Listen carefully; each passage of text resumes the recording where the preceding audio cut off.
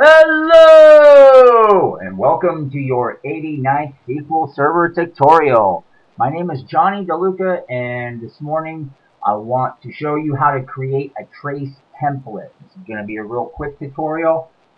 Um, if you've been following along, I instructed you to leave the SQL Server Profiler up because we'd be using it again.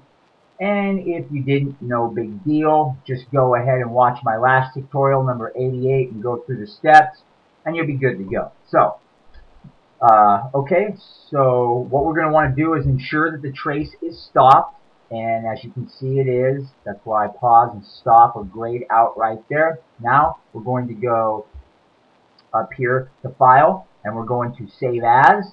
And then we're going here to Save as Trace Template. Going to click on that and then we're just going to give it a name. Let's name this AW long running stored procedure.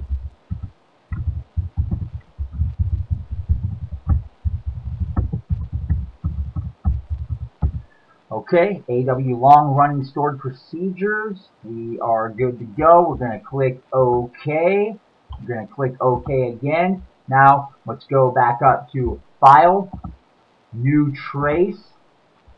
And it's going to tell us to connect to our server. Go ahead and do that. Right?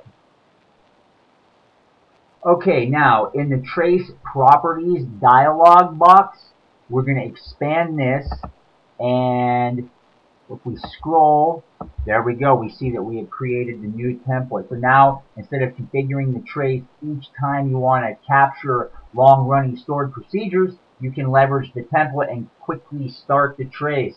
So this does it for this tutorial. Thanks for watching.